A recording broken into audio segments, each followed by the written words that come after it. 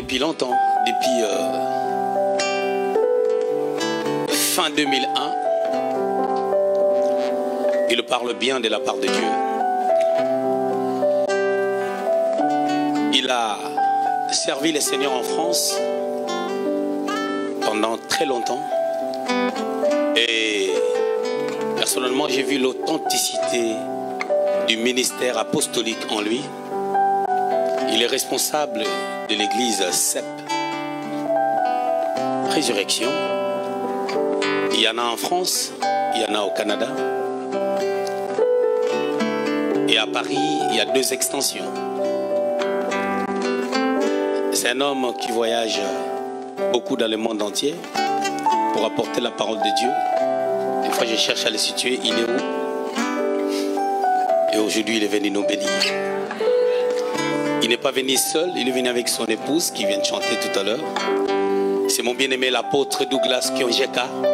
Pendant qu'il s'approche, on acclame le Shiloh, le roi puissant, le véritable Dieu, la star des stars.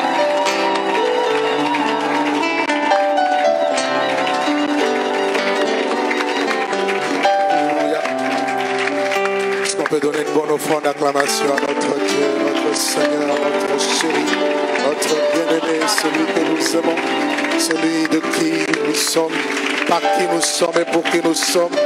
Tout est en lui et tout est pour lui. Tout ne peut se faire que par lui. Nous ne sommes rien sans lui. Celui qui donne de la valeur, celui qui élève de la poussière et retire les pauvres du fumier l'indigent. Et il le fait asseoir avec les grands de son peuple. Que toute la gloire te revienne, notre Seigneur et notre Dieu. Ces instants, Seigneur. Accorde-nous ta grâce. Accorde-nous ton onction. Accorde-nous l'inspiration venant de toi, Seigneur. Tu dis ta parole est esprit et vie. Permets qu'elle soit proclamée avec force, puissance, efficacité, avec vie, autorité, gloire, en imposant ton règne, que ta gloire soit visible et manifeste. Accomplis ton but, Seigneur mon Dieu. Accomplis tes desseins. Que ta volonté parfaite soit faite, Seigneur mon Dieu, ce matin. Nous te bénissons pour ta divine présence qui nous enveloppe, Seigneur, dès ce matin. Merci pour ta gloire. Merci pour l'armée céleste. Merci pour tes saints anges. Merci, ô Dieu, pour ta main puissante à l'œuvre dans cette assemblée, dans ce ministère. Merci pour la puissance de Dieu qui se mouve en ce lieu. Que toute la gloire te revienne. Au nom de Jésus, nous t'avons ainsi prié. Amen. Gloire à Dieu. Je vous prie de prendre place.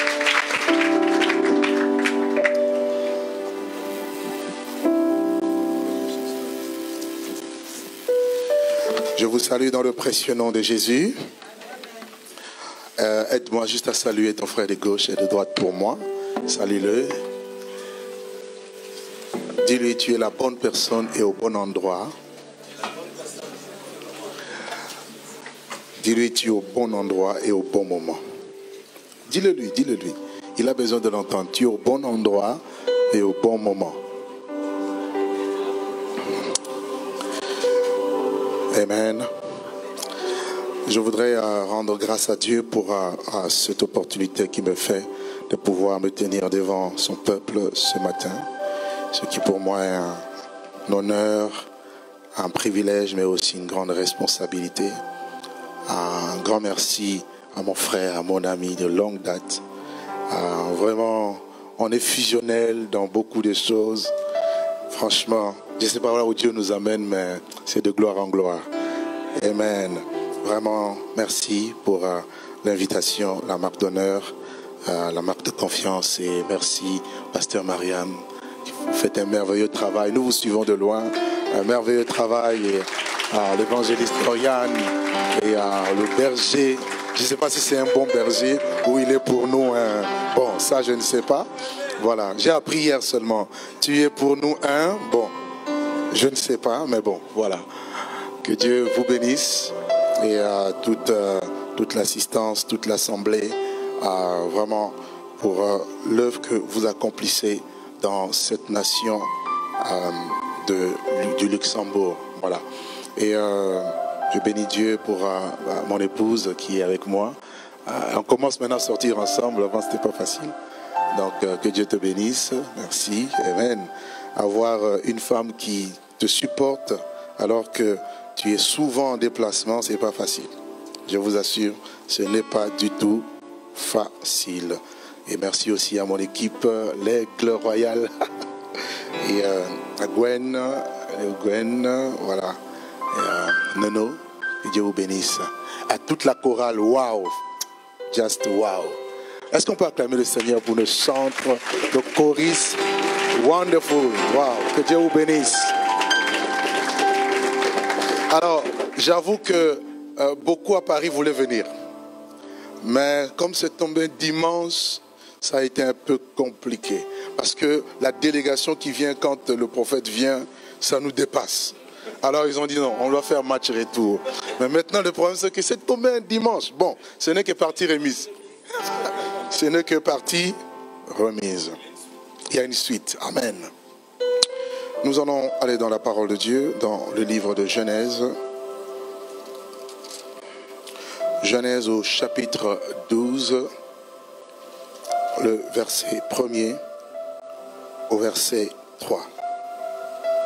Et puis nous lirons Genèse 18, verset 19, plutôt verset 18 au verset 19. Enfin, nous lirons Genèse 17, 1 à 6. L'Éternel dit à Abraham, va-t'en de ton pays, de ta patrie et de la maison de ton père, dans le pays que je te montrerai je ferai de toi une grande nation. Soulignez bien une grande nation. Euh, c'est possible de baisser un peu pour moi hein? Please, thank you. Right. Je ferai de toi une grande nation. Je te bénirai et je te, euh, je, je rendrai ton nom grand et tu seras une source de bénédiction. Je bénirai ceux qui te béniront et je maudirai ceux qui te maudiront et toutes les familles de la terre seront béni en toi. Genèse 18, verset 18 au verset 19.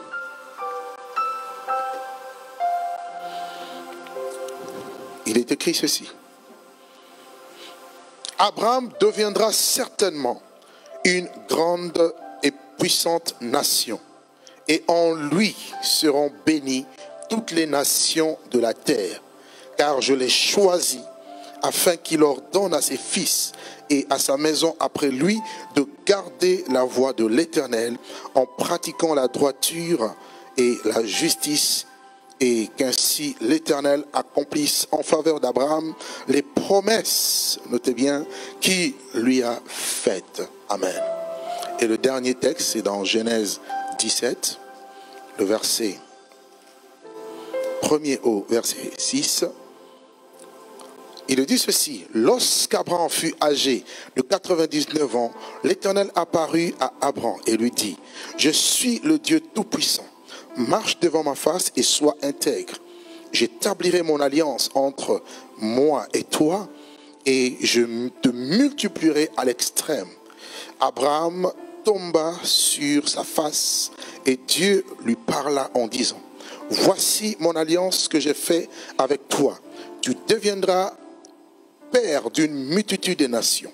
On t'appellera plus Abraham, mais ton nom sera Abraham, car je te rends père d'une multitude de nations. Je te rendrai fécond à l'extrême, et je ferai de toi des nations, et des rois sortiront de toi. Amen. Le thème de ma prédication ce matin s'intitule Je ferai de toi une grande nation. Est-ce que tu peux parler à ton voisin? Dis-lui, je ferai de toi une grande nation.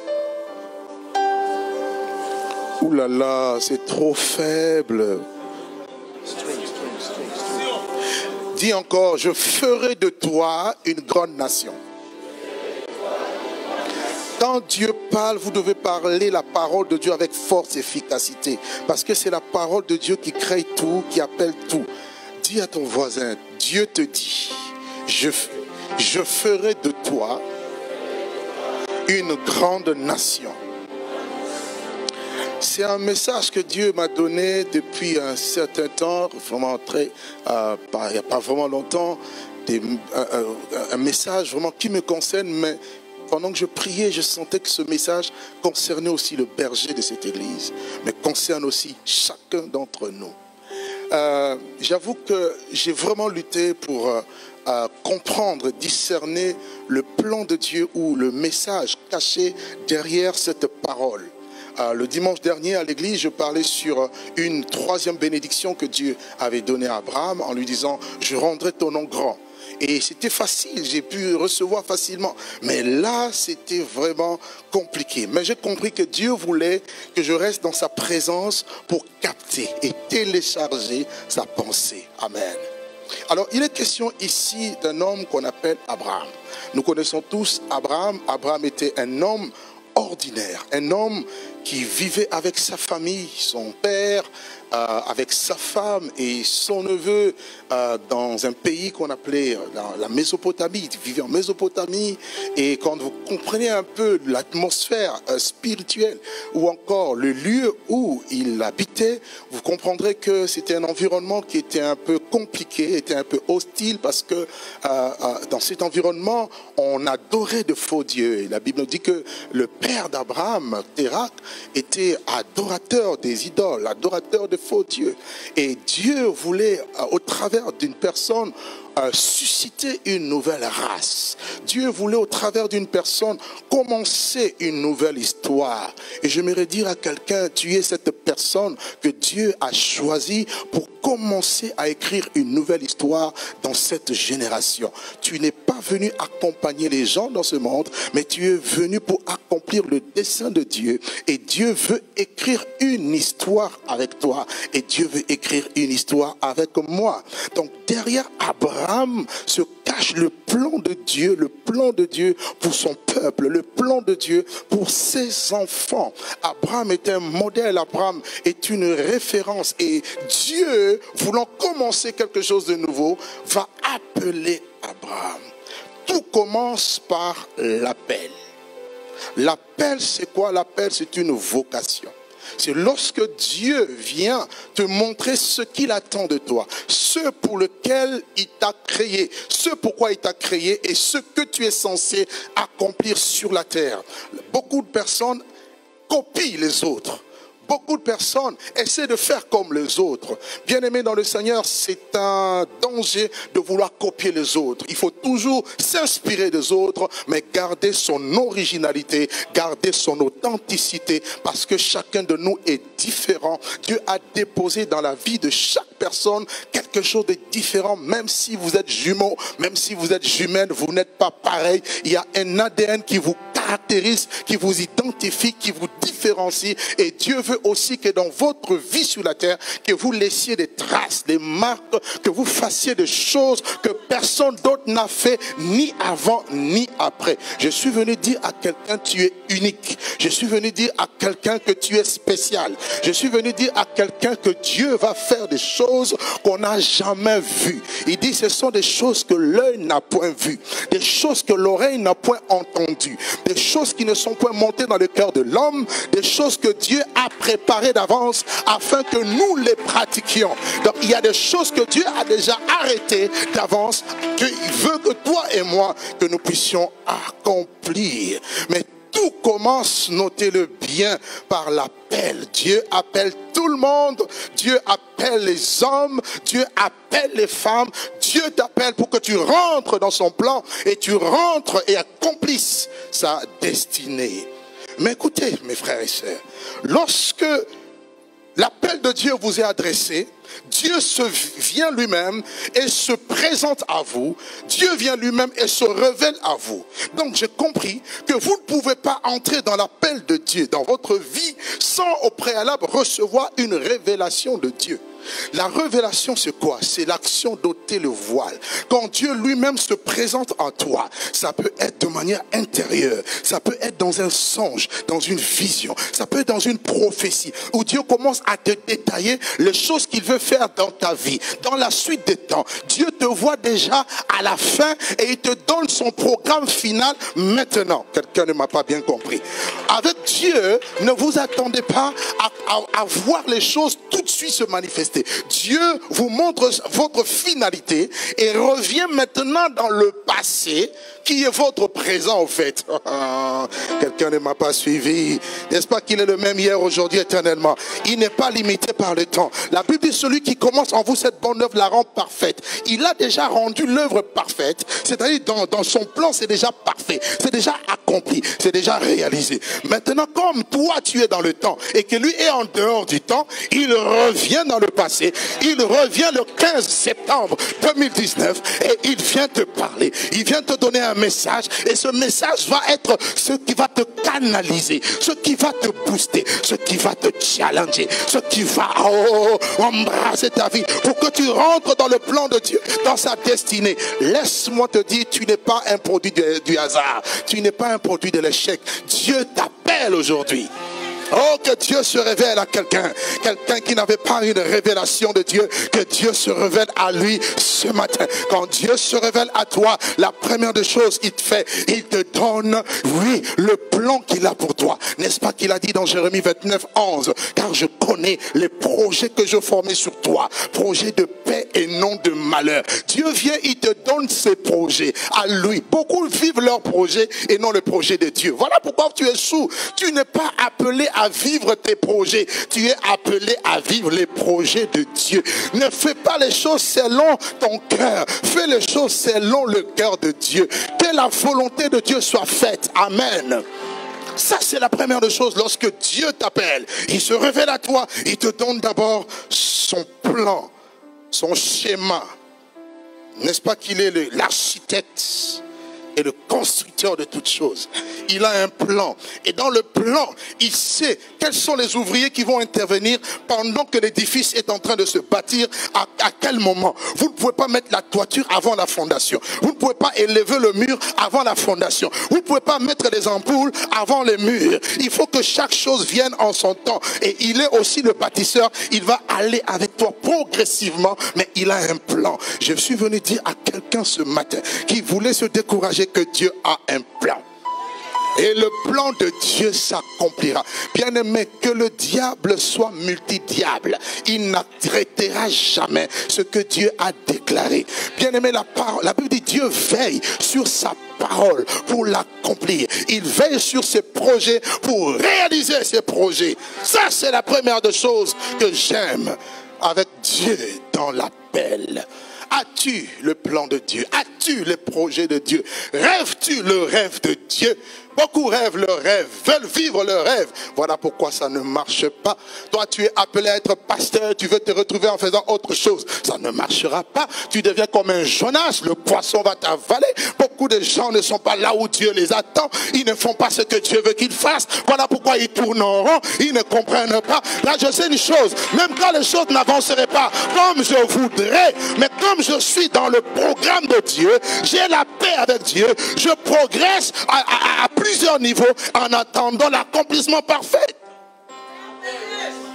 Deuxième de choses, quand tu reçois l'appel de Dieu, de Dieu va te stabiliser. La révélation te stabilise. Tu ne seras plus perturbé. Tu ne vas plus tâtonner quel chemin suivre. Il dit, je t'instruirai, je te montrerai le chemin que tu dois suivre et j'aurai les regards sur toi. Quand tu reçois l'appel de Dieu, tu deviens sous le regard du Très-Haut. Dieu commence à contrôler tes faits et gestes, tes mouvements. Comment un homme comme Moïse, on l'a caché pendant trois mois. Après, en plus, on le met dans une caisse, on le met dans, dans le fleuve, le Nil, là où il y a beaucoup de crocodiles dangereux et des hippopotames, mais aucun d'eux n'a pu le bouffer. Mon ami, lorsque tu es entre les mains de Dieu, laisse-moi te dire, ils peuvent être nombreux, ils ne t'atteindront jamais. Sois stable, reste dans la stabilité. La stabilité, la révélation te donne la stabilité. La stabilité, je sais qui je suis, je sais qui est mon Père, je sais qui est mon Dieu. Mon frère, monte avec moi. La manière dont j'aime bouger, il faut que tu montes avec moi. Swing, swing, swing, swing, swing. Right? Alléluia! Ah, tu ne tâtonneras plus. Oh, tu ne tâtonneras plus. Tu, ne seras plus perturbé. Tu ne seras plus confondu. Lorsque tu n'as pas la révélation, tu es comme Simon. Simon est un roseau. Mais le jour où Pierre, Simon, reçoit la révélation, Jésus dit, tu es Pierre. La pierre, c'est la stabilité. Dieu veut changer ton identité. La révélation de Dieu enlève l'instabilité. La révélation de ce que Dieu veut que tu sois et que tu deviennes. Te mets sous le chemin de Dieu et te tranquillise. Le Dieu qui m'a appelé est au contrôle. C'est pour cela que Paul pouvait dire, alors que le bateau faisait naufrage, il dit, l'ange à qui j'appartiens m'est apparu, personne ne mourra. En plein naufrage, il dit, personne ne mourra. Quand tu sais ce que Dieu t'a dit, tu diras, non, la promesse n'est pas encore accomplie. Je suis immortel. Un homme de Dieu a dit en lingala, je suis inconfamable. C'est-à-dire, je suis immortel. Personne ne peut te tuer. Même si on est venu te tuer, laisse-moi te dire, on va te ressusciter parce que tu dois accomplir ce pour lequel Dieu t'a appelé. Ah, c'est pour ça, sois stable. Combien de gens aujourd'hui, ils courent d'église en église? Ce n'est pas ça la solution. La stabilité. Ce n'est pas courir de ministère en ministère. C'est la stabilité. De pasteur en pasteur. C'est la stabilité. Quand tu sais ce que Dieu t'a dit et là où Dieu t'a placé, tu es calme et tu attends le temps de Dieu. Oh, j'aime Dieu. La révélation d'un appel de Dieu va aussi te donner la distinction. Dis avec moi distinction. Dieu, quand il t'appelle, en fait, il veut faire de toi un homme. Toi qui es un homme ordinaire, il veut faire de toi un homme extraordinaire. L'appel de Dieu te sort du lot. L'appel de Dieu te sort de l'ordinaire et tu deviens extraordinaire. L'appel de Dieu tu sors, te sort du domaine naturel et Dieu commence à opérer avec toi dans, le dimension, dans la dimension surnaturelle. Toi-même, tu ne comprends pas parce que tu réponds à l'appel. Voilà pourquoi Abraham est devenu un père, un modèle, on va voir, parce qu'il a répondu à l'appel. Bien-aimé dans le Seigneur, je prie que tu deviennes une personne exceptionnelle. Oh, je dis que tu deviennes une personne exceptionnelle. Que Méas Luxembourg devienne une église exceptionnelle. Oh, je le dis, je le déclare. Tu dois commencer à le dire, à le déclarer. J'ai un appel. Dieu m'a appelé dans cette nation. Même si on a dit c'est difficile, il chante le difficile en possible. Dieu va mettre un chemin là où tout semble fermé. Est-ce que je peux parler à quelqu'un? Dieu est capable de changer le désert en un jardin d'Éden. Si tu comprends ça, tu ne seras plus découragé. Dieu est capable de changer une verge qui était sèche en devenant une verge fleurie.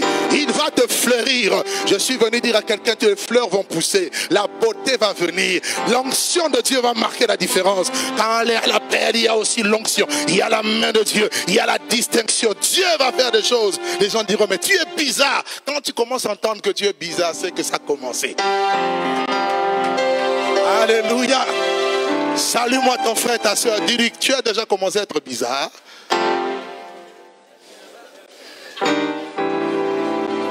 Il y a des problèmes. Tu es calme. Oui, l'appel. Il n'a pas dit que tu coulerais. Il n'a pas dit que tu sombrerais. Il a dit, allons sur bord. Tu arriveras à l'autre bord. Est-ce que je te parle? Tu arriveras à l'autre bord. Tu arriveras à l'autre bord. Tu y arriveras. Et ce que j'ai compris aussi, quand Dieu t'appelle dans sa révélation, il t'enrichit. En fait, toute, les, toute la, la bénédiction de Dieu se trouve dans l'appel.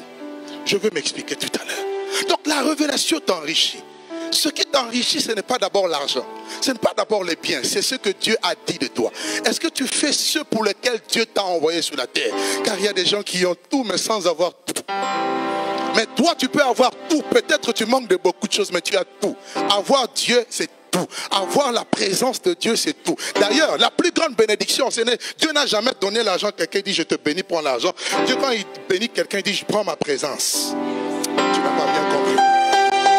Joseph est parti en Égypte esclave, mais la présence de Dieu l'a distingué. Esclave dans la maison de Potiphar, chef.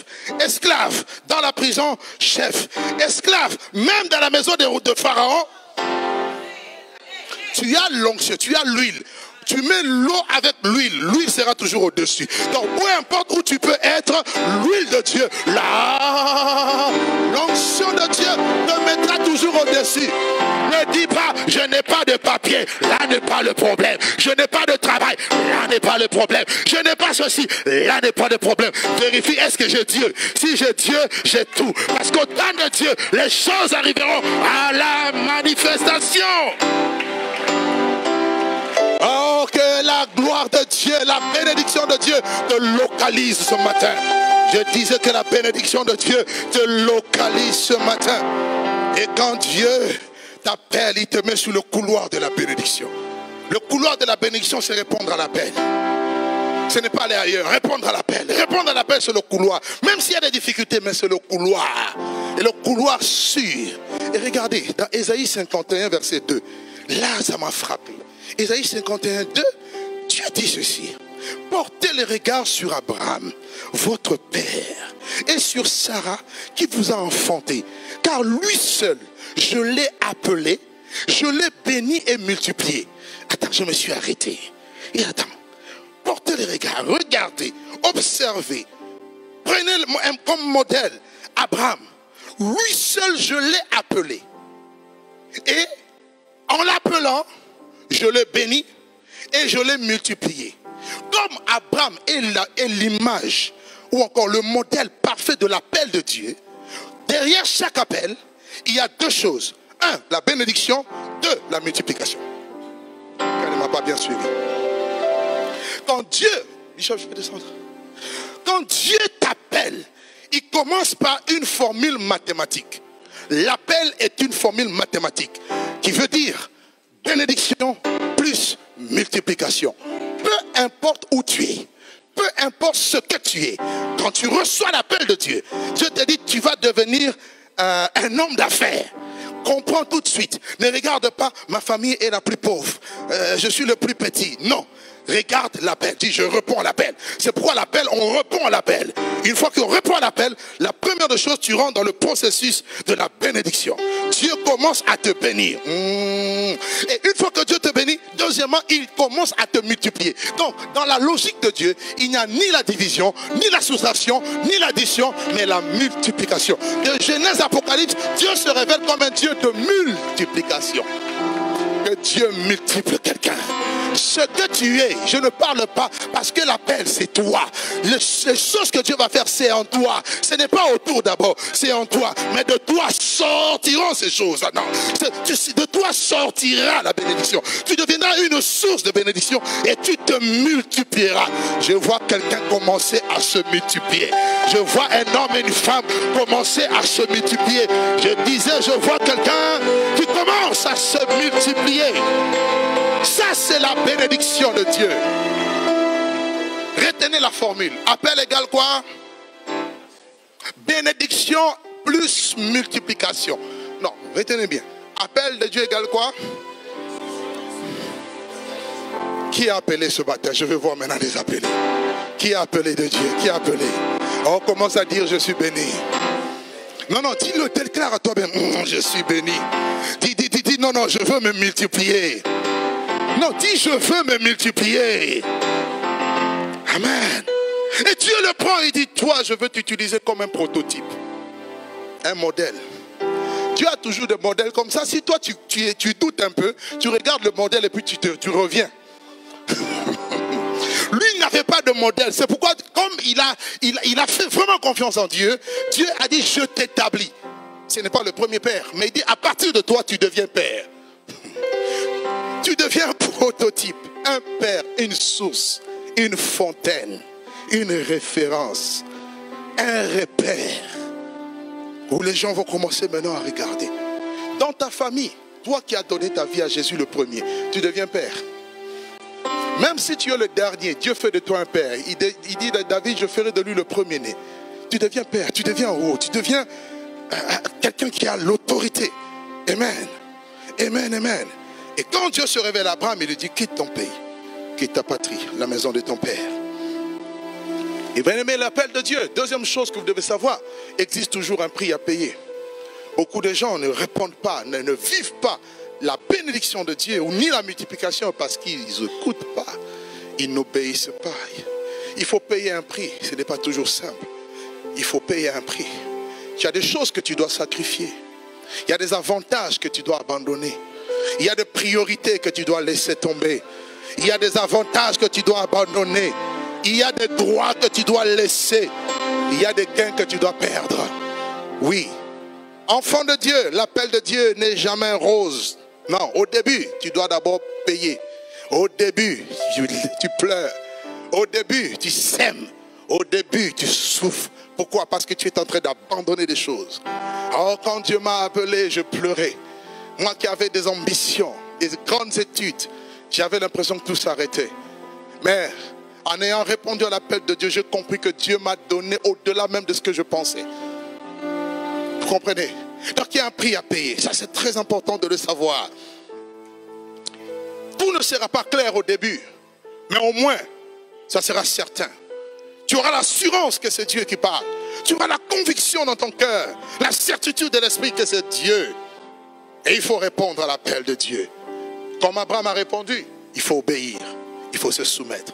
Deuxième chose que je vois, toujours dans la vie d'Abraham, lorsqu'on répond à l'appel de Dieu, la deuxième des choses qui va arriver, Dieu va traiter alliance avec toi. Dieu est un Dieu d'alliance. Voilà la deuxième chose. Frères, sœurs, dans l'alliance, il, y a deux- parties. L'alliance est un contrat. L'alliance, euh, dans l'alliance, il y a des clauses, n'est-ce pas? Il y a des termes qui engagent les deux parties. Dieu lui-même vient et dit, je traite alliance avec toi. Je veux faire ça, ça, ça avec toi. Ok. Euh, maintenant, toi, ce qu'il attend de toi, c'est que tu crois et que tu respectes ce qu'il t'a dit. Ça, c'est l'alliance. Dans l'alliance, il y a deux parts. Il y a la part de l'homme et la part de Dieu. Dieu ne fera jamais ce que tu dois faire. Non, jamais. Parce qu'il y a des chrétiens qui aiment toujours attendre. Dieu va faire encore. Frère, sœur, il va faire là où toi tu ne peux pas faire. Mais ce que tu peux faire, il ne le fera jamais.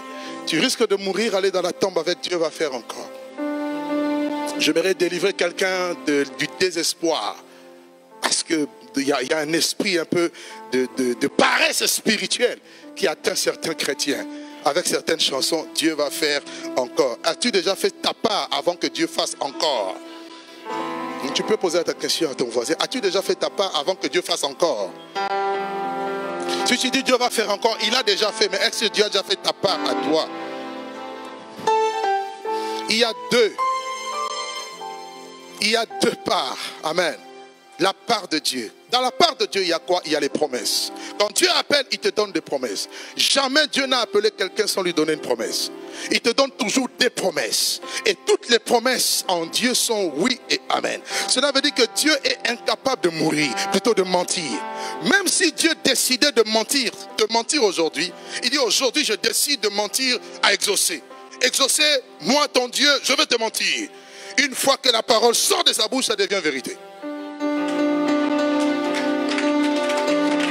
Est-ce que tu as compris? Donc, la Bible dit, il est impossible. Oh non, rien n'est impossible à Dieu. C'est vrai et c'est faux. Dieu peut tout sauf une chose, mentir. Donc sa promesse est vraie. Quel que soit ce que Dieu t'a dit, mon frère, ma soeur, je ne sais pas ce que Dieu t'a dit dans le secret. Mais ce que Dieu t'a dit, crois-moi ce matin. Je suis venu en tant qu'un porte-parole de Dieu te dire que ce qu'il a dit, ce qu'il a promis, il va assurément le réaliser. Parce qu'il est fidèle. Et Dieu parce qu'il ne peut pas jurer par quelqu'un de plus grand que lui, il jure par lui-même. Dieu te fait une promesse, il dit, là, je vais l'accomplir. Oh, c'est un Dieu qui ne trahit jamais, un Dieu qui ne faillit jamais. Il accomplira sa promesse. Je te dis de la part de Dieu, la promesse de Dieu dans ta vie va se réaliser. Ne regarde pas les réalités, ne regarde pas la circonstance. La réalité ne peut jamais changer la vérité, mais la vérité change toujours la réalité. Amen. Non, enfant de Dieu, ayons foi en notre Dieu. Il est fidèle à sa parole. Amen. Ça, c'est la part de Dieu. Et il dit à Abraham, La promesse qu'il fait à Abraham ici, qui te fait à toi et à moi, il dit, je ferai de toi une grande nation. Ah bon? Tel que je suis, je suis appelé à devenir une grande nation. Waouh En d'autres termes, je sortirai des grandes nations de toi. C'est-à-dire, de tes entrailles sortira des grands peuples. Tout à l'heure, tu comprendras c'est qui ces nations. Oh, quand l'Esprit m'a ouvert les yeux, j'ai dit, mon Dieu, la parole est tellement profonde. Elle est tellement belle. Je ferai de toi une grande nation. Bien aimé, j'ai compris aussi autre chose en méditant cette parole. Que tout ce que Dieu fait et promet est toujours grand. Donc en réalité, rechercher les grandes choses n'est pas un péché. C'est au fait la marque de Dieu en toi. Dieu est grand, tout ce qu'il fait est grand. Il dit à Abraham, je rendrai ton nom grand et je ferai de toi une grande nation. Le mot grand veut dire méga. Donc Dieu est contre la petitesse. Je, croyais que je parlais à, à, Méas. Je croyais que je parlais à Méas, Luxembourg. Je dis, Dieu est contre la petitesse. Peu importe là où tu es. Si tu es petit, sache que tu es dans le processus de la grandeur. Dieu ne veut pas que tu restes petit. Dieu veut que tu prennes du volume, que tu prennes du poids. Hmm. Devenir grand, c'est devenir grand, gros, gros. Prendre du poids, costaud, fort, équipé, bâti. Je suis grand. Alléluia. Il dit, je, je ferai de toi. Il dit, il dit, non, il dit, mon Dieu, mon roi.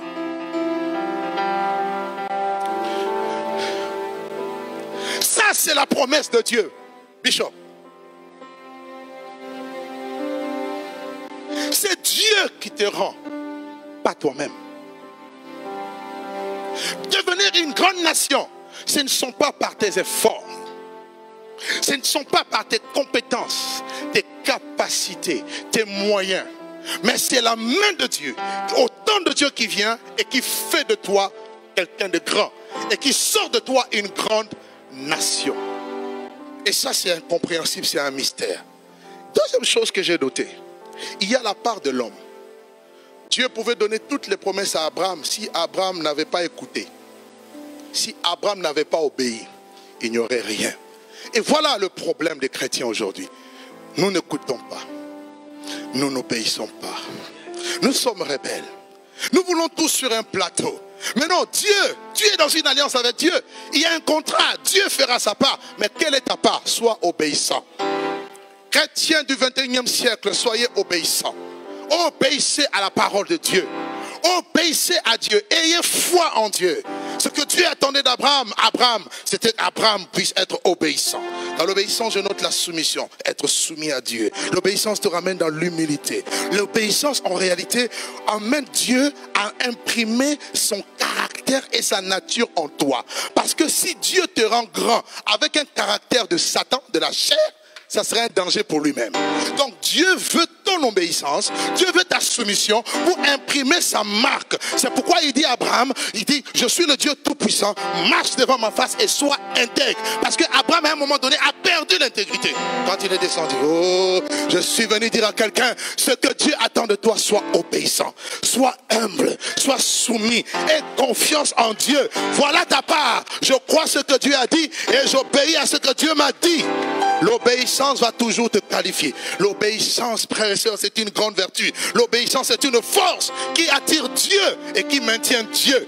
Oh Dieu, la présence de Dieu est partout, mais la présence manifeste de Dieu ne vient que là où la parole de Dieu est demeure. Il dit, si vous demeurez dans ma parole, moi et le Père nous viendrons et nous mettrons notre demeure. Donc Dieu peut venir demeurer, mais là où il y a l'obéissance, Dieu ne demeure pas dans le péché, Dieu ne demeure pas dans la désobéissance. Car la désobéissance est comme la divination, la désobéissance est la rébellion.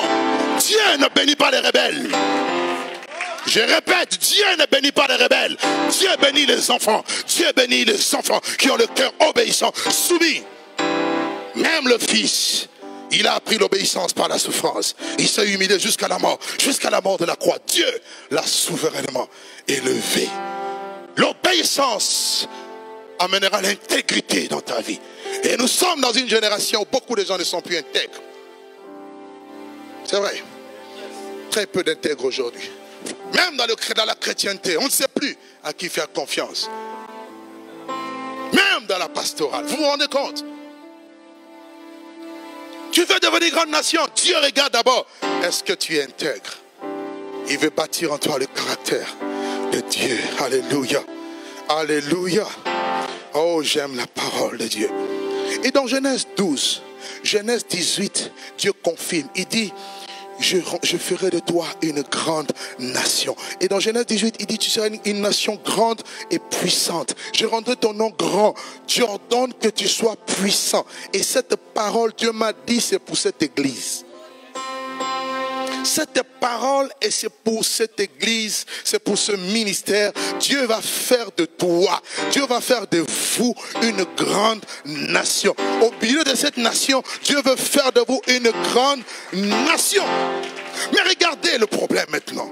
Dieu donne la promesse à Abraham, je ferai de toi une grande nation. Dieu lui-même vient compliquer Abraham. Mais non, mais je ne comprends pas. Les voix de Dieu sont incompréhensibles. Les pensées de Dieu sont insondables. La manière dont Dieu fonctionne, on ne peut pas le cerner. Mais tu m'as dit, je serai une grande nation. Comment tu me compliques? Il pensait que ça viendrait tout de suite. Complications. Voilà pourquoi certains ici sont dans des complications. Dieu vient compliquer ta vie. Je ne dis pas un péché, je ne dis pas le diable, Dieu lui-même. Parce que la Bible dit ici, il a rendu Sarah stérile. Il complique sa vie. Si je dois devenir grande nation, donc l'enfant doit sortir de moi, comment maintenant l'enfant doit sortir de moi? Tu me dis que je serai grande nation En même temps, je suis... Aïe, aïe, aïe, aïe, aïe, aïe, aïe. Dieu commence toujours son processus par la complication. Quand tu vois les choses c'est compliqué, dis-toi je suis dans le bon. Dis-toi je suis dans le bon. Ce n'est que le début d'une grande histoire. Ah, je suis venu dire à quelqu'un, Dieu ne t'a pas abandonné. Dieu ne t'a pas lâché. Dieu ne t'a pas laissé. Dieu ne t'a pas oublié. Il est juste en train de travailler. Mais quand il travaille, il travaille dans le secret. Oh, quand Dieu travaille, tu ne connais pas le chemin du vent, ni comment se forment les os dans le ventre d'une femme. Tu ne connais pas non plus l'œuvre de Dieu. Dieu vient et il complique Abraham. Alléluia. Il n'y a pas d'explication. Il n'y a pas d'explication. C'est Dieu qui complique. Je ne comprends pas ma vie. Complication. Ma vie n'avance pas. Complication. Les choses sont bloquées. Complication. Je ne vois rien. Complication. Aïe, aïe, aïe, aïe. Oh, c'est le début. Je disais à quelqu'un, c'est le début de grandes choses. Ça, c'est la logique de Dieu. La bénédiction ne commence jamais par la manifestation. Elle commence toujours par la complication. Parce qu'il a fait avec Abraham. Il dit portez les regards sur Abraham. C'est lui le modèle, c'est lui la référence. Et je vais vous aider encore. C'est lui le pionnier, c'est lui qui ouvre la voie. C'est lui qui, qui ferait le chemin pour que tout le monde suive. Maintenant, si toi tu es appelé de Dieu, c'est pourquoi tous les vrais appelés de Dieu ont toujours une vie compliquée. Ils ne comprennent pas. C'est facile pour les autres, mais pour eux c'est difficile. En fait, c'est Dieu qui te complique parce que, oh mon Dieu, mon roi, est-ce que je peux parler à un enfant de Dieu ce matin? Est-ce que je peux parler à la mère ce matin? Dieu qui est en train de compliquer parce qu'il est en train de frayer un chemin.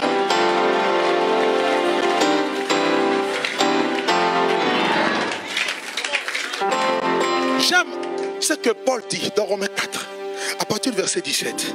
Il dit ceci. Prenons-le quand même, prenons-le. Prends-le.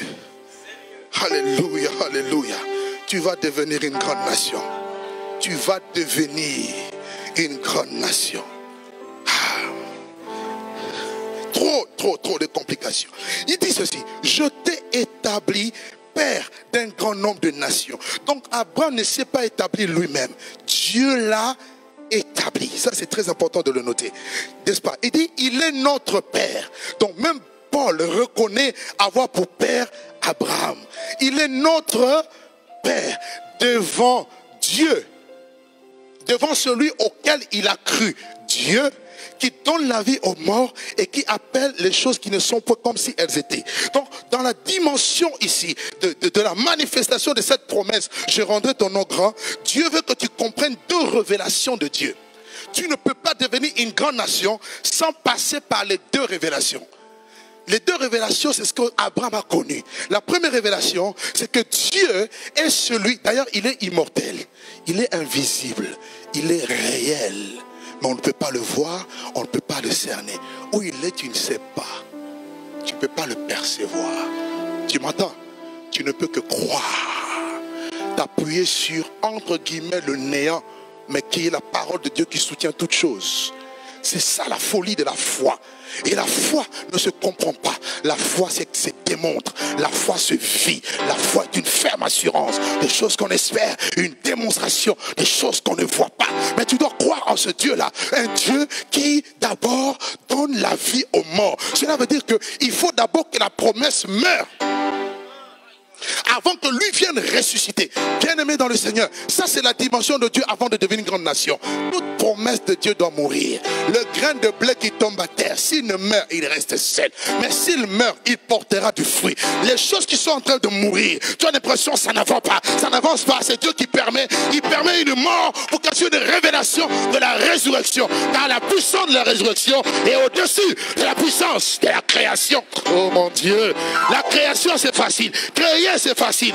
Il appelle à l'existence. Mais ressusciter, ça existait déjà, mais ça ne vit plus. Mais il vient par le souffle de sa bouche, par le souffle de sa parole. Oh, et il ressuscite ce qui était mort. Ça, c'est la révélation qu'Abraham a eue. Bien-aimé dans le Seigneur, je te dis, de la part de Dieu, les choses qui sont mortes là, attends juste un moment. Personne n'a la capacité de se ressusciter soi-même. Tu n'as pas bien compris. Tu peux faire beaucoup de choses, mais quand tu meurs, déjà, il faut qu'on t'enterre. Tu ne peux pas t'enterrer. Quelqu'un doit t'enterrer. Même pour ressusciter, il faut qu'il y ait une force extérieure qui vienne te ressusciter. Donc Dieu suit d'abord ce que lui-même t'a donné. C'est le problème qu'il a dit, il a dit, je t'ai donné Isaac, mais il dit sacrifie-le. Il faut qu'Isaac meure pour qu'il y ait une résurrection par le Christ. Il n'y a rien de nouveau sous le soleil. Ce que je dis est biblique. Amen. Donc, tu vas vivre. Tape la main de ton voisin. Dis-lui bientôt, tu vas vivre la puissance de la résurrection. Non, non, non, non, non. Il, n'a pas bien compris. Non, non, non, non, non, non. Je, parle de la puissance ultime. Je parle de la puissance suprême. Bientôt, si l'esprit qui a ressuscité Jésus dans le mort habite en nous, la Bible dit le même esprit nous ressuscitera. En fait, la promesse la va ressusciter. Je te parle de la part de Dieu, ça va ressusciter. Ceux qui m'entendent ce matin, je dis ça va ressusciter. Mariage, ça va ressusciter. Oh, travail, ça va ressusciter. Procréation, ça va ressusciter. On a dit c'est fini, ça va ressusciter. Le métier a donné. Euh, je ne sais pas, un diagnostic, c'est fini. Mais moi, je te dis, ça va ressusciter. Pour tous ceux qui vivent, il y a de l'espoir. Même un chien vivant vaut mieux qu'un lion mort. Je suis venu dire à quelqu'un, ça va ressusciter. Parle à ton voisin, ça va ressusciter. Mon frère, ça va ressusciter. Il y a une nation derrière, ça va ressusciter. Où va ressusciter. Où va ressusciter. Oh, c'est fini. Ça va ressusciter. Les gens dit, Job, sa vie est finie. Mais il dit, je sais que mon Rédempteur est vivant. Il se levera le dernier sur la terre. Ça va ressusciter. Ça va ressusciter. Oh, for Lord can the scan of blinded. The wind of my. Ça va ressusciter ça va démontrer aux hommes que ce n'est pas la main de l'homme, mais c'est la main de Dieu. C'est le droit de Dieu. Il faut que ceux qui t'avaient enterré disent qu'on ne comprend pas. Quand Jésus est ressuscité, la terre a tremblé. Les gens disent on ne comprend pas. ils ont envoyé des gardes Ils disent mais le tombeau est vide.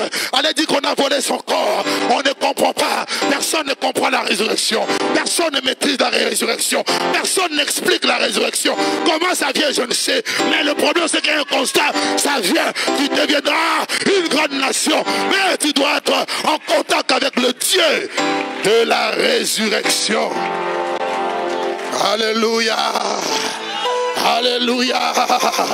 Alléluia. C'est pourquoi c'est le même Dieu qui a rendu Abraham stérile et Sarah stérile. Mais il dit, je l'ai appelé lui seul. Sarah, c'est elle qui vous a enfanté. Donc son statut a changé. tu ne peux pas enfanter sans concevoir. Donc si tu conçois, c'est que tu n'es plus stérile. Donc si tu n'es plus stérile, c'est que la puissance de la résurrection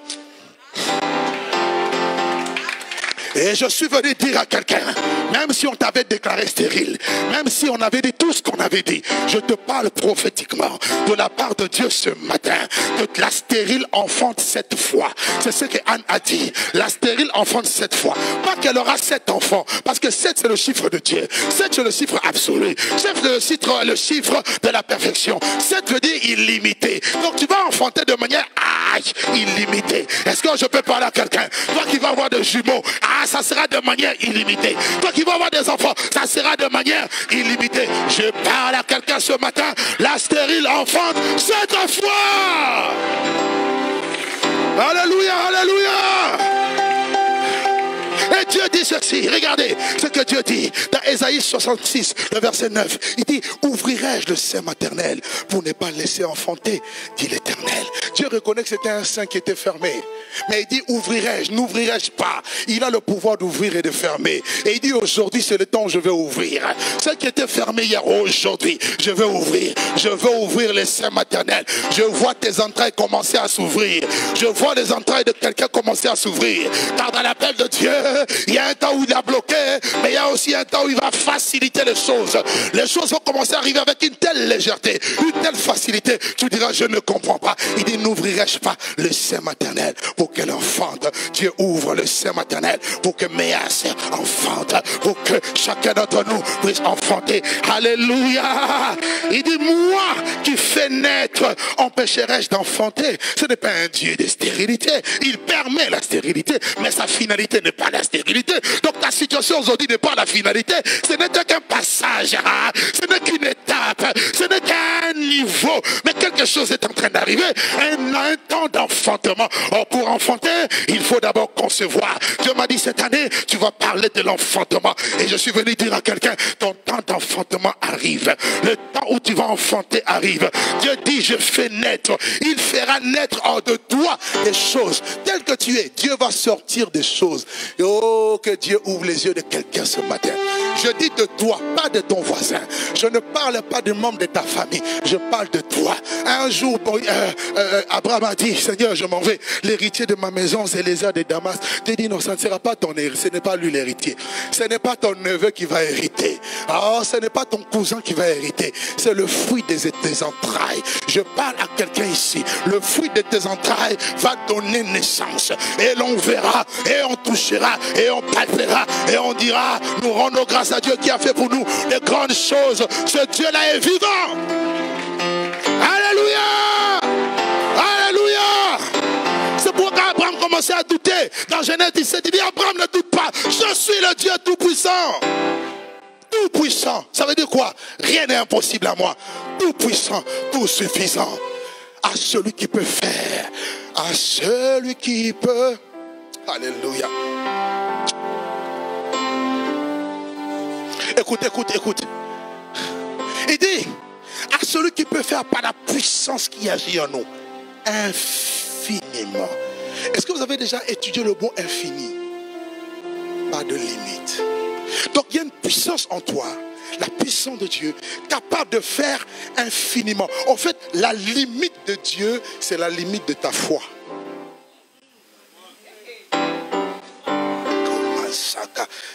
De Dieu, merci. Je dis la limite de Dieu, c'est la limite de ta foi. Là où tu crois que Dieu peut arriver, jusqu'où Dieu peut arriver, c'est ce que tu auras.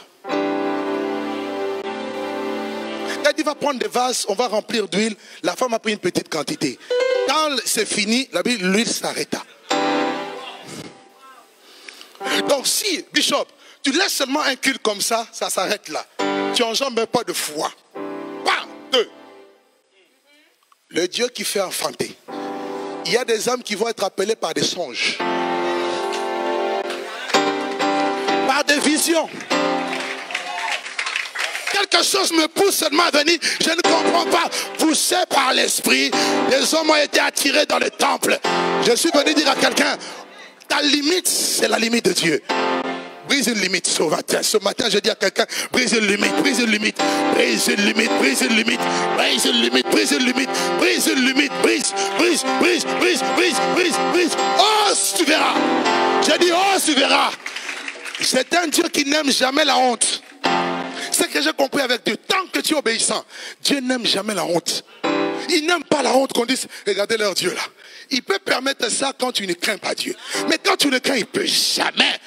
Jamais. Il va dire non, je suis l'éternel, c'est là mon nom. Je ne donnerai pas ma gloire à un autre.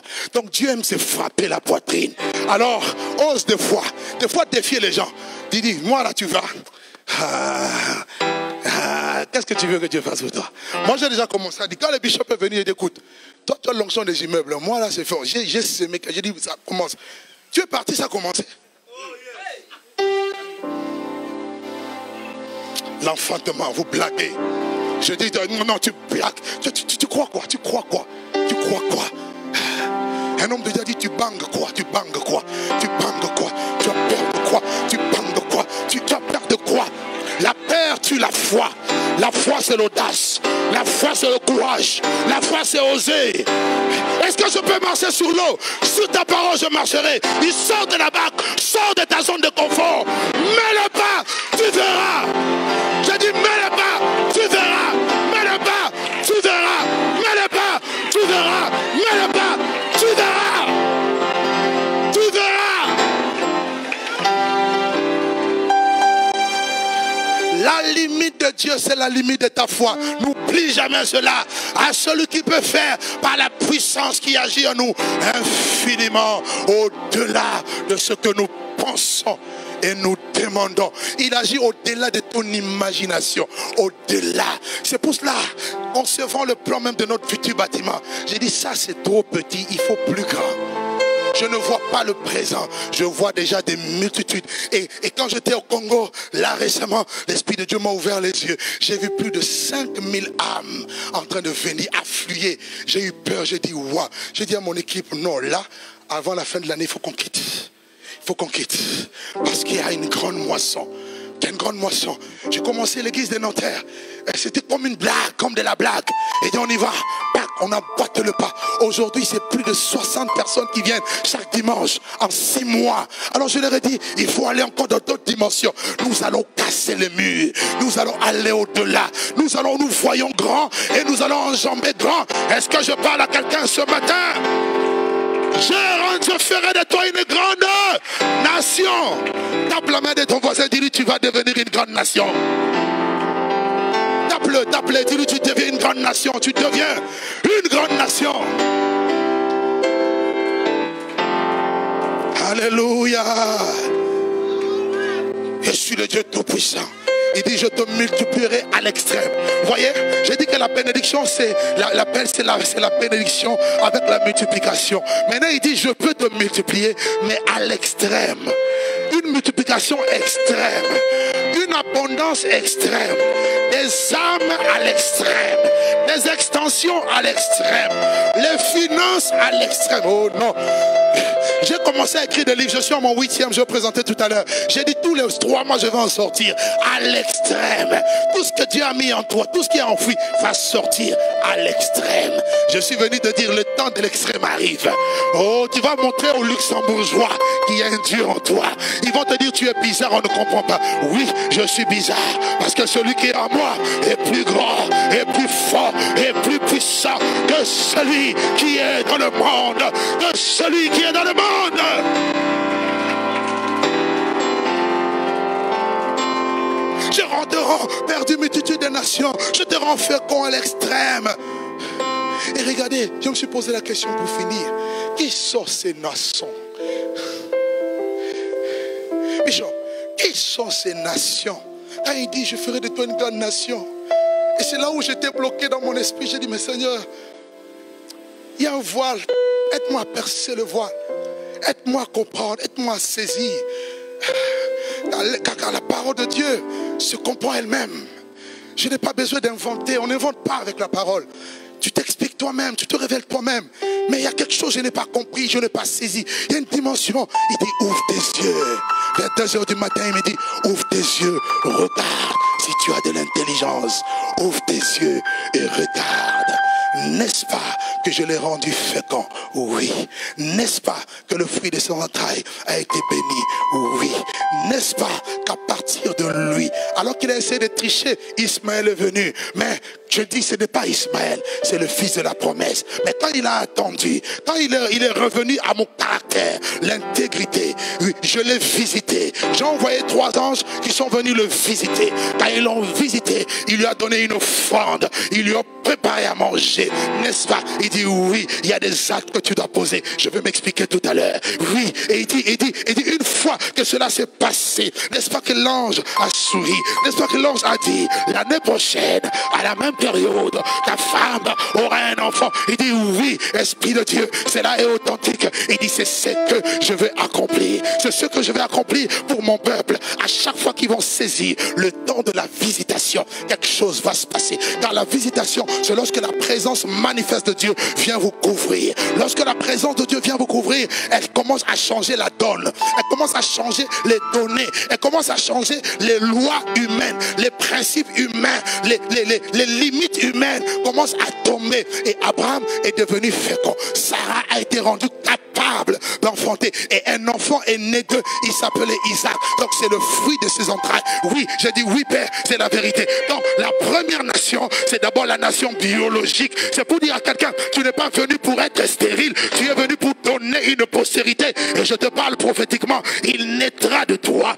N'est-ce pas? Il a dit, un enfant nous est né, un fils nous est donné. Oui, de manière miraculeuse, le miracle viendra et s'imposera dans le ventre de la femme. Oui, c'est vrai, parce que l'enfant qui va venir, c'est l'enfant de la promesse. Parce que l'enfant qui va venir, c'est l'enfant de l'alliance. Parce que l'enfant qui va venir, c'est de lui que viendra le Messie, le Christ.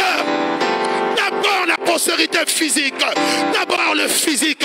Tu enfanteras physiquement. Tu auras des enfants. Tu enfanteras physiquement. Tu auras des entreprises. Tu auras des églises. Tu auras des ministères de manière visible, de manière palpable. Tu vas le toucher. Tes mains vont le voir. Tes yeux vont le voir plutôt. Tes mains vont le toucher. Tu vas le palper et tu vas certifier que Dieu est vrai. Ça, c'est la première dimension. La dimension des nations. Et derrière chaque enfant, il y a des nations. C'est pourquoi n'avortez jamais. Jamais. Derrière une nation, un enfant, il y a des nations. Derrière un longo exaucé, il y a des nations. J'ai dit, il y a des nations. J'ai dit, il y a des nations.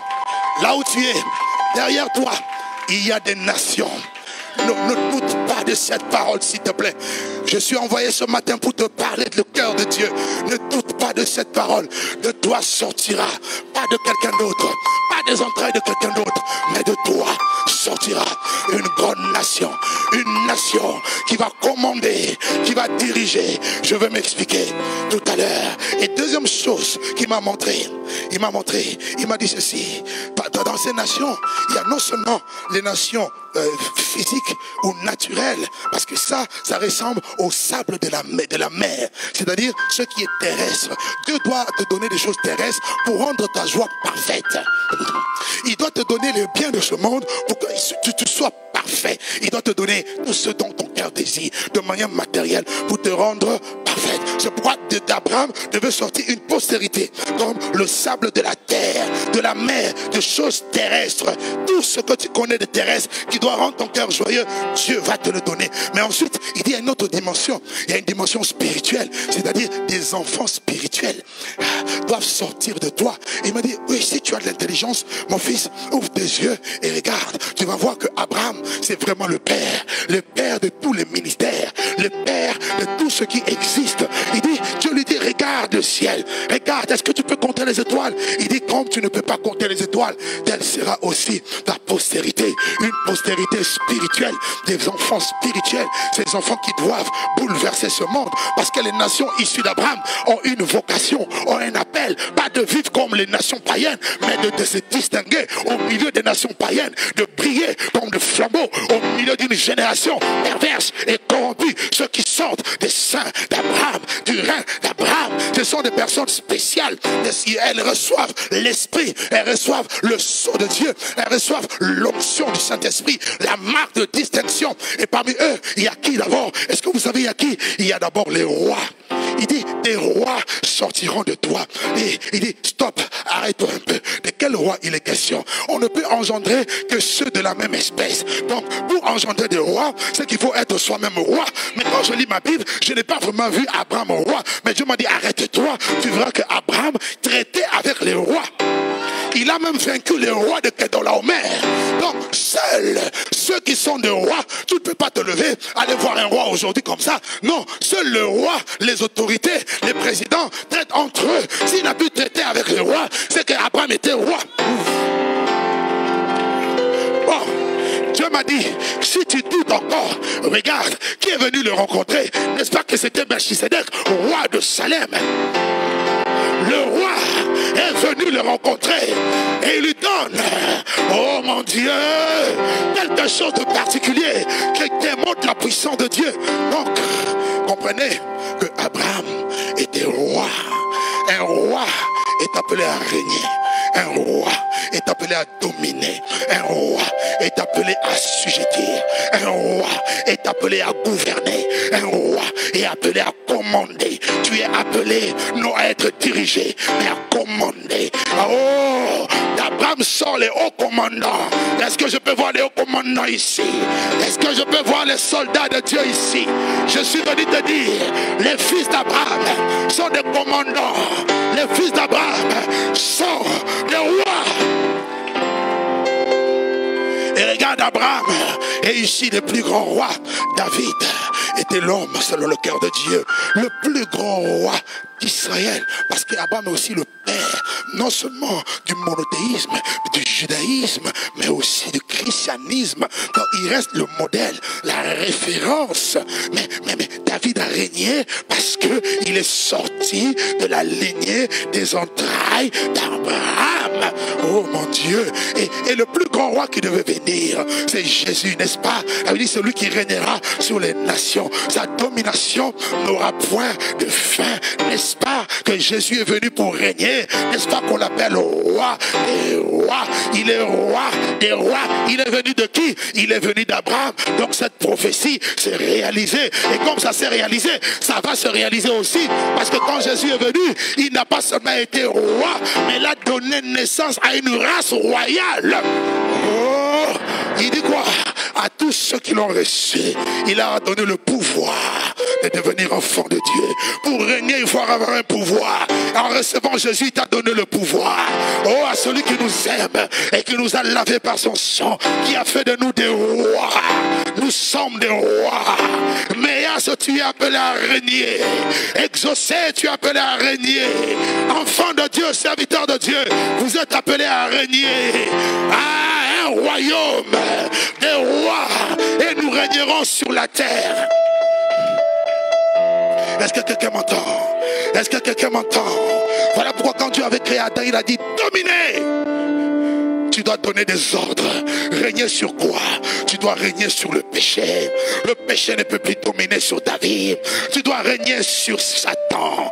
Quelles que soient ses manigances, tu es au-dessus de Satan. N'est-ce pas qu'il a dit, je vous ai donné le pouvoir de marcher, mon ami, sur les serpents, les scorpions et sur toute la puissance de l'ennemi. Alors rien ne pourra vous nuire. En tant que roi, je marche au-dessus des puissances sataniques, au-dessus de l'occultisme, au-dessus des sorciers, au-dessus de ceux qui font des incantations. L'incantation ne peut rien contre toi. La divination ne peut rien contre toi. L'enchantement ne peut rien contre toi. Autant marqué, il sera dit, quelle est l'œuvre de l'éternel je peux parler aux rois et aux reines. Y a-t-il de rois et de reines ce matin? Y a-t-il de rois et de reines ce matin? Commencez à régner. Au Luxembourg, régner. Commencez à régner. Que ton règne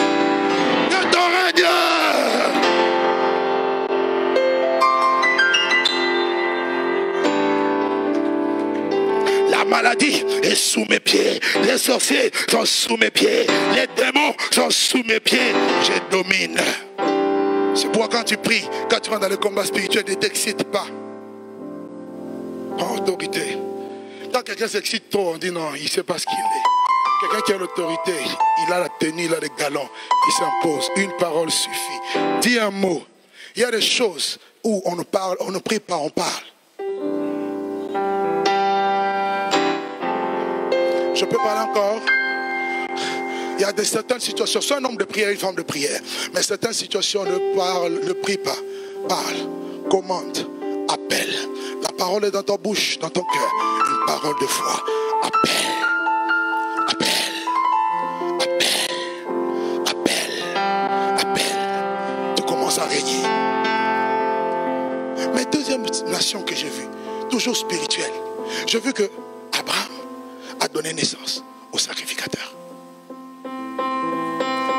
Tu ne peux pas donner naissance au sacrificateur si toi-même tu ne l'es pas. Donc lui-même était un sacrificateur. Et quand vous regardez son parcours, vous allez voir que Abraham, après que Dieu s'est révélé à lui, il a commencé à bâtir des hôtels. Image de culte qui doit être rendu à Dieu. Devient un sacrificateur, un prêtre, celui qui reste dans la présence de Dieu. Bien aimé, la, la descendance d'Abraham, c'est la descendance des adorateurs. Dieu aime les adorateurs. Qui est adorateur ici? Je ne parle pas des chanteurs, je parle des adorateurs. Car tu peux chanter sans adorer. D'ailleurs, la première fois que la Bible utilise l'adoration, c'est avec Abraham. Il dit, il dit à ses serviteurs, vous restez ici. Moi et les jeunes hommes, nous montons sur la montagne pour adorer. Sans piano, sans instrument, ils vont adorer. Tu n'as pas besoin de piano, de guitare pour adorer. Ah, l'heure vient, elle est déjà venue où les vrais adorateurs adoreront le Père en esprit et en vérité. Oui, les, les, les, nations qui sortent de lui, ce sont des nations des adorateurs. La, la race d'Azaph, la race de Corée, la race de David, un adorateur. Il dit quoi? Des paroles pleines de charme. Brillant dans mon cœur, je dis mon œuvre est pour le roi. Que ma langue soit comme la plume d'un habile écrivain un adorateur. Et pour prouver aussi qu'il était sacrificateur, il a sacrifié Isaac. Et quand Dieu ne voulait pas qu'il sacrifie Isaac, il y a eu un béni, il a sacrifié. Il n'y avait pas encore de prêtre établi. Dieu l'a établi prêtre. Et quand il a rencontré Melchisedec, il a donné la dîme. La Bible dit Lévi a donné la dîme parce qu'il était dans ses reins. Donc, il est père de Lévi, père des sacrificateurs. Oh, devient une, un sacerdoce royal. Je suis venu te dire, n'attends pas qu'on t'appelle pour venir à la prière. Viens le, mardi, viens le jeudi, viens le dimanche. Chez toi, sois un adorateur, sois quelqu'un qui cherche Dieu, sois quelqu'un qui s'approche de Dieu. Dans la présence de Dieu, les choses changent. Alléluia. Un sacerdoce royal. Et enfin, Abraham est le père de la nation des prophètes. Et il m'a dit, ouvre encore tes yeux, tu verras. Le premier homme que j'ai appelé prophète dans la Bible, c'est Abraham. Genèse 20, versets 7 à 9. Le premier à être appelé prophète dans la Bible, Abraham. Donc, Abraham incarne une race prophétique. Une race de ceux-là qui se tiennent dans la présence de Dieu, qui écoutent Dieu et qui voient Dieu. Les nabis, les porte-parole de Dieu. Dieu dit quoi? Dieu, l'éternel ne fait rien sans révéler son secret à ses serviteurs, les prophètes. Donc les prophètes, ce sont ceux qui connaissent le secret de Dieu. Tu ne me crois pas quand Dieu a voulu frapper Sodome, il dit quoi? Cacherai-je à Abraham ce que je vais faire? Je suis venu te dire, les temps arrivent où tu seras pris, surpris par les événements. Dieu va commencer à te révéler les choses cachées, les choses secrètes. N'est-ce pas qu'il a dit, invoque-moi, je te répondrai, je t'annoncerai des choses cachées. Il est le père des prophètes. Il est le père de Moïse, l'homme qui est venu étant puissant en parole et en œuvre le père d'Élie, le père de Jean-Baptiste, le père du plus grand prophète que l'humanité n'a jamais connu. Trois ans suffisaient pour bouleverser le monde, Jésus-Christ, qui est mort et ressuscité. Alors que les disciples allaient sur le chemin de Maïs, et il le rencontre, il dit, es-tu le seul à Jérusalem qui ne soit pas au courant de ce qui s'est passé? Au sujet de Jésus de Nazareth, qui était un prophète puissant en parole et en œuvre. La dimension prophétique d'Abraham, c'est une dimension prophétique de parole et de puissance. C'est pourquoi il a dit sera une grande nation. La preuve, il, Abimelech a voulu prendre sa femme. Dieu l'a interdit en songe. Il dit va voir Abraham, il doit prier pour toi afin que tu sois guéri. Donc Abraham avait le don de guérison. Ah, je suis en train de finir. Je suis en train de finir. Je dis à quelqu'un, tu deviendras une grande nation. La dimension royale est en toi. La dimension sacerdotale est en toi. La dimension prophétique est en toi. Église de Mers, entre dans ton héritage. Dieu dit, tu deviendras une grande nation. Tu deviendras. À partir d'aujourd'hui, imprègne-toi de cette parole. C'est une parole prophétique pour ta vie. Deviens une grande nation. Décide, change de mentalité, rentre dans le processus de Dieu et Dieu continuera, commencera son œuvre. Et Dieu vous bénisse abondamment dans le précieux, glorieux nom de Jésus-Christ de Nazareth. Amen. Levons nos mains vers Dieu.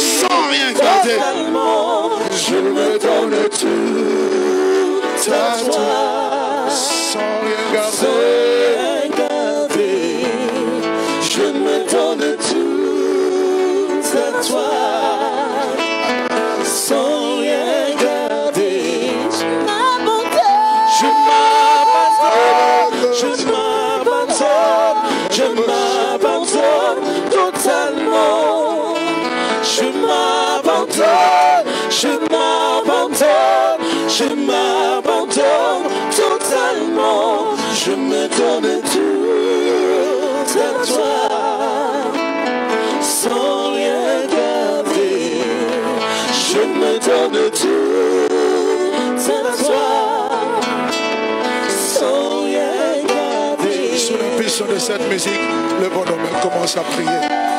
Imprègne-toi de cette parole. Demande à Dieu que cette parole se réalise dans ta vie. Demande-le, demande-le, demande-le. Spéciale attachée à ce message. Il y a une onction spéciale attachée à ce message. Je te parle prophétiquement. Il y a une onction spéciale attachée à ce message. Car Dieu veut sortir quelqu'un ici de l'anonymat. Dieu veut sortir un homme, une femme de sa zone de confort. Et Dieu veut t'amener plus haut, plus loin. Voici mon serviteur prospérera. Mon serviteur montera. Il montera. Il se levera. Il se levera bien haut. De même qu'il a été pour beaucoup un sujet de raillerie, de riserie, il sera de même un sujet de gloire. C'est Dieu qui fait cela. Oui, pendant que tu es en train de prier, la main de Dieu est en train de poser sur ta vie. Oh oui, Saint-Esprit, merci.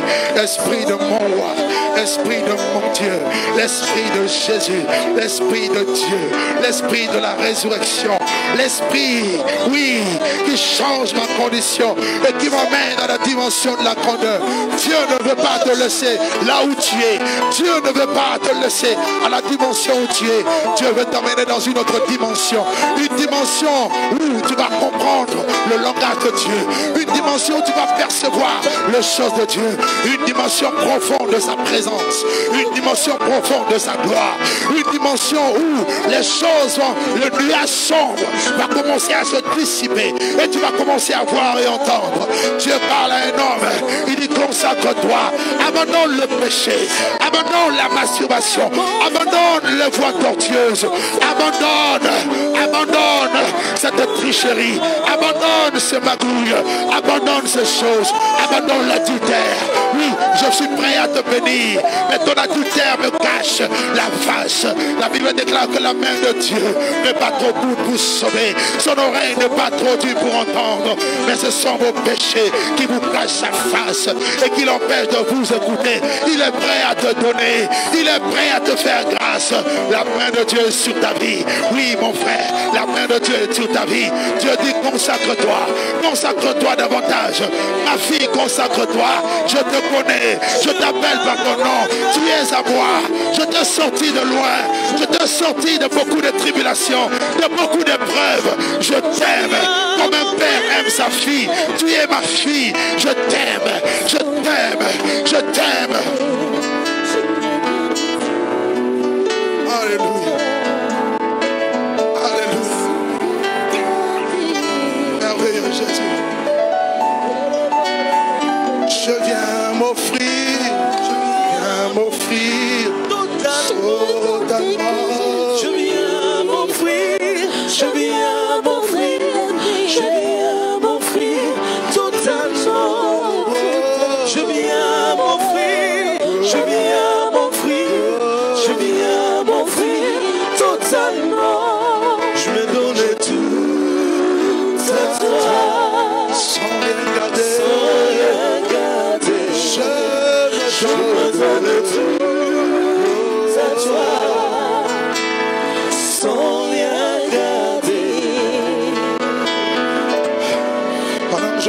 Cette nuit, j'étais resté un peu longtemps dans la prière.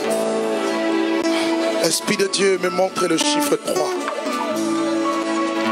C'est venu tout le temps dans mon esprit, le chiffre 3. Le chiffre 3. Et je n'ai pas réussi à comprendre cela, à discerner cela. Mais je pense quand même avoir une certaine réponse. Il m'a dit, souviens-toi que notre Seigneur a été ressuscité le troisième jour.